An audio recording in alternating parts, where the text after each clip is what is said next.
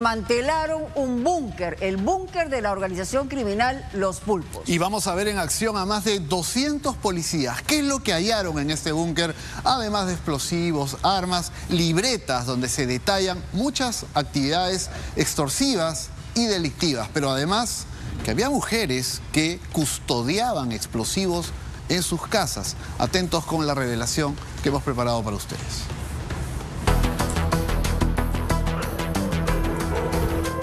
Contingente de la Policía Nacional conformado por aproximadamente 200 efectivos llegó esta madrugada hasta la zona conocida como Cruz Blanca, en el distrito del Porvenir, Trujillo.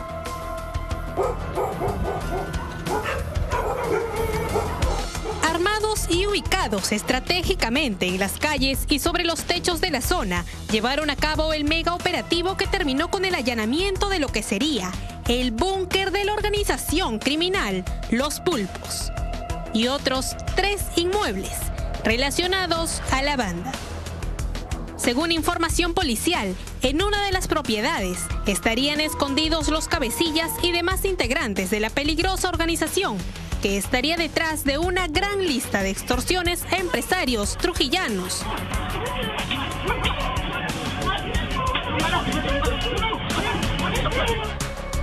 Y de la amenaza de muerte al coronel Víctor Reboredo.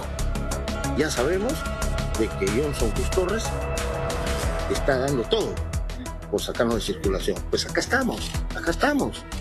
Ahora acá estamos. dice que ha ofrecido dinero por, eh, por su ubicación, por su cabeza. Acá estamos, acá estamos, acá estamos.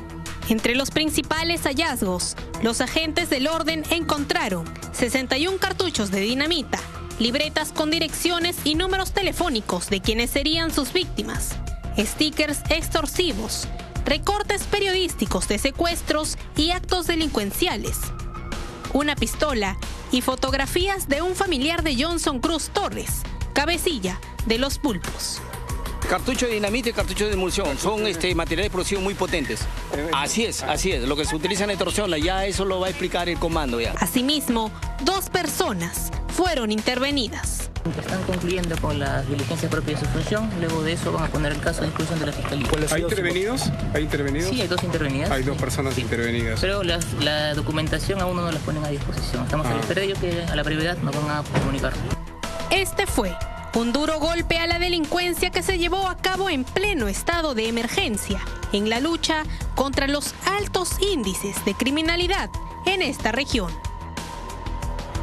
Bueno, y a, propósito de esta operación policial, detuvieron a dos mujeres que estaban cuidando todo lo que estaba vinculado a esta organización criminal, incluso una libreta, una libreta donde había un apartado señalando objetivo pendiente, Soplón Reboredo, 80 mil. Sí, tenían en la mira, mantienen en la mira al coronel Reboredo, quien hemos escuchado en la nota anterior, poniendo un precio a su cabeza, pero además no olvidemos que esta organización está dedicada al secuestro y a la extorsión. Veamos lo que se encontró en la casa de estas mujeres. Estas son las mujeres que cuidaban mañana, tarde y noche las propiedades de la organización criminal Los Pulpos.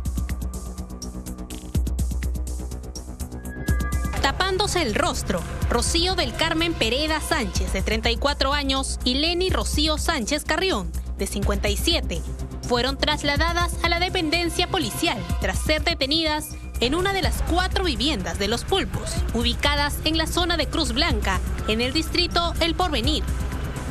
Estas dos personas se encontraban al cuidado de todas estas especies, están de, los domicilios. Son cuatro inmuebles a los cuales se ha podido ingresar. Ambas son familiares de Johnson Smith, Cruz Torres. Una de ellas sería la esposa de alias Miller, el tío del ya mencionado cabecilla de la banda. Todos sabemos que ese lugar ha sido intocable por muchos años, nunca nos hemos metido eh, en la forma que hemos incursionado en esta oportunidad.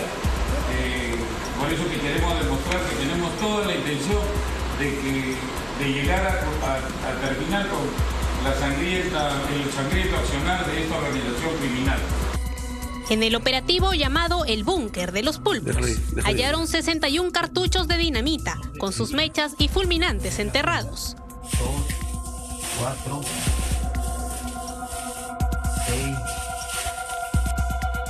Armas, libretas con datos de quienes serían sus víctimas, celulares, balas, una máquina de coser, stickers extorsivos, recortes periodísticos de sus actos criminales y una nota que hacía una clara referencia al coronel Víctor Reboredo.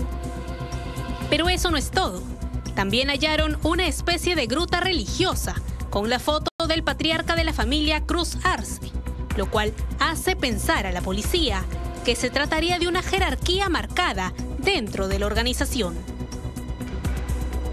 Hemos entrado al corazón de esta organización criminal. Estamos dando una muestra que ellos no manejan ningún área de la libertad en la que la policía no puede llegar.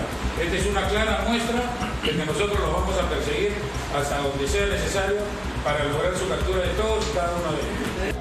El general José Zavala afirmó que este sería el golpe policial que los acerca al paradero de Johnson Cruz Torres, quien aparentemente estaría ocultándose en Chile, por lo que ofrecen 75 mil soles por información que conduzca a las autoridades al paradero del cabecilla de los pulpos. Obviamente la policía lo que tiene que apuntar es al cabecilla. Ese es el y camino. Justamente allí es donde se le parte por el eje a la organización criminal. Ahora dejan los stickers la policía Ahí lo hemos visto en la puerta, ¿no? De cada inmueble donde han ingresado. Así es. Han puesto un sticker.